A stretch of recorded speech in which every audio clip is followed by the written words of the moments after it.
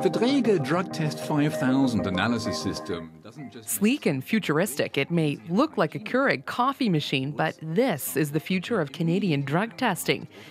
The Draeger Drug Test 5000 is. The Draeger 5000 tests saliva for the presence of THC, but a Norwegian study found it produces false positives 15% of the time. And it doesn't work that well in the cold. There are lots of devices out there, so why was the Draeger 5000 the first to get Canadian approval? The Canadian Society of Forensic Science, which sets the standards for science used in law enforcement, recommended the Draeger 5000 to the federal government. But the Society wouldn't explain why it chose the device. And that worries defense lawyer Kyla Lee. That to me tells me that there's something in there that would cause us to question the reliability of the device. Because if everything that they tested in it showed great results all the time, they would be excited to share that with the public. What the Forensic Society did share were the guidelines it created in selecting a drug testing device.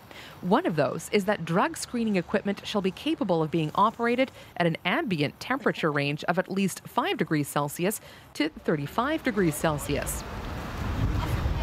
That's not what law enforcement wanted.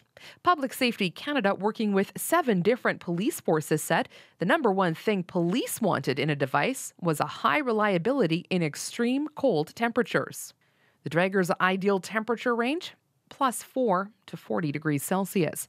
The Police Association is unfazed by Draeger's potentially temperamental temperature limitations.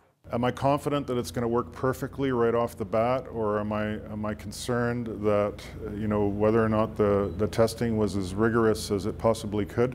I, I think you can always find issues with any piece of equipment like that.